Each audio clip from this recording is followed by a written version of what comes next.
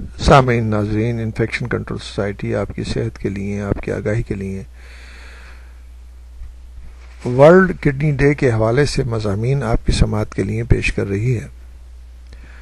जैसा कि हमने आपको बताया शुरू में कि इस साल वर्ल्ड किडनी डे की थीम जो है chronic kidney diseases and ageing है।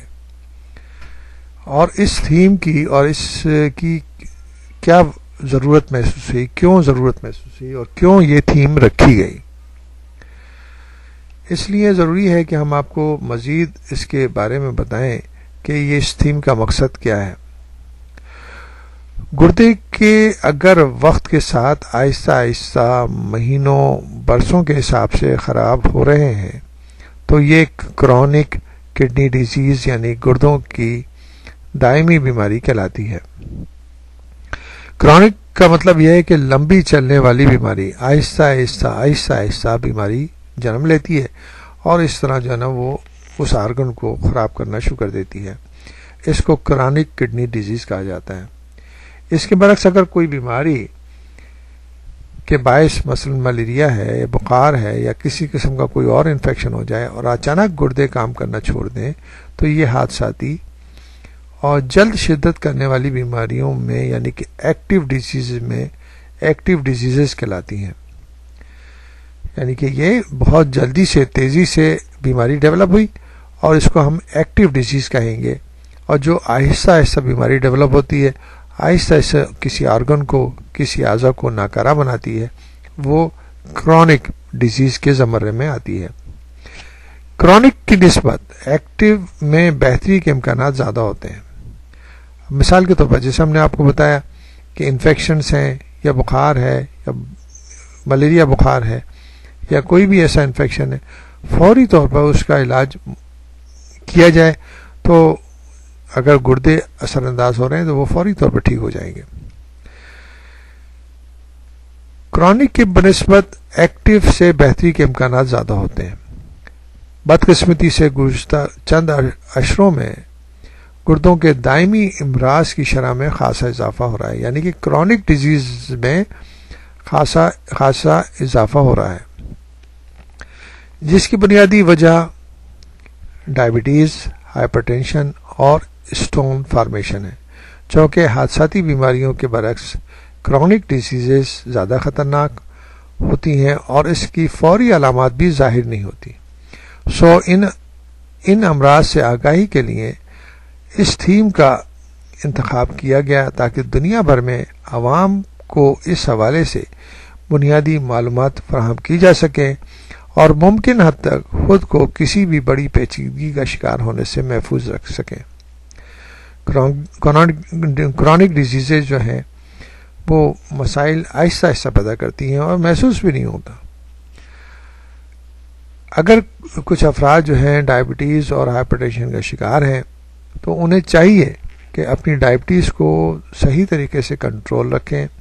अगर ब्लड प्रेशर हाई है तो वो भी उसकी जो अद्वियात हैं, वो आसानी से अवेलेबल हैं और उनका इस्तेमाल करके हाइपरटेंशन को भी कंट्रोल किया जा सकता है। मगर ये बीमारियाँ ऐसी हैं डायबिटीज़ और हाइपरटेंशन के, इसके अलामत बहुत कम ज़ाहिर होती हैं। और अलामत ज़ाहिर भी देर में होती हैं। बेशुमार अफराद हमारे ममालिक में ऐसे हैं जिनको ये मालूम ही नहीं है कि वो डायबिटीज़ का शिकार हो चुके हैं या हाइपरटेंशन का शिकार हो चुके हैं। और जिस कस्म के हालात हमारे जैसे मुल्कों में हैं प्रेशर जहनी तौर पर परेशानियाँ और महँगाई के ज़माने में लोग जो है ना, मुसलसल जो ना, जहनी दबाव का शिकार रहते हैं। फिर दहशत गर्दी के मसाइल, फिर उसके बाद जो है इन्फेक्शन के और पॉल्यूशन के मसाइल ट्रैफ़िक का शोर, घरों की, के अंदर जो है सहूलतें ना होना, ये सब जो है जहनी तौर पर इंसान को मफलूज कर देती हैं।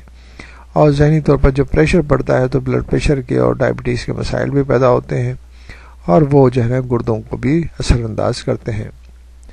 इसलिए ज़रूरी है कि हम जो है बेहतर तरीके से इन मालूम को सामने रखते हुए जो भी आसान तरीके हैं, जो भी आसान तरीक़ेकार हैं, उनको इस्तेमाल करके हम अपने गुर्दों की हिफाजत करें।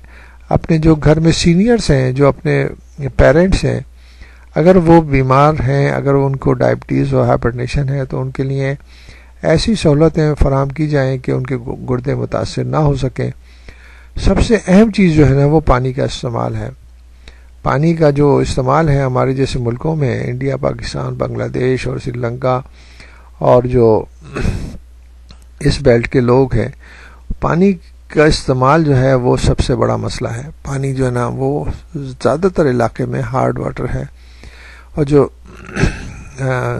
सिटी गवर्नमेंट सप्लाई करती है वो भी हार्ड वाटर होता है।